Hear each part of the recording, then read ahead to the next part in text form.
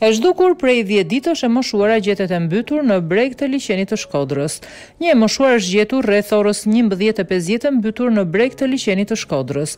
Shtetasja me inicialet FK banuese në fshatin Dobraç ishte larguar nga banesa që në datën 29 i 12 i 2020 njofton Policia e Shkodrës.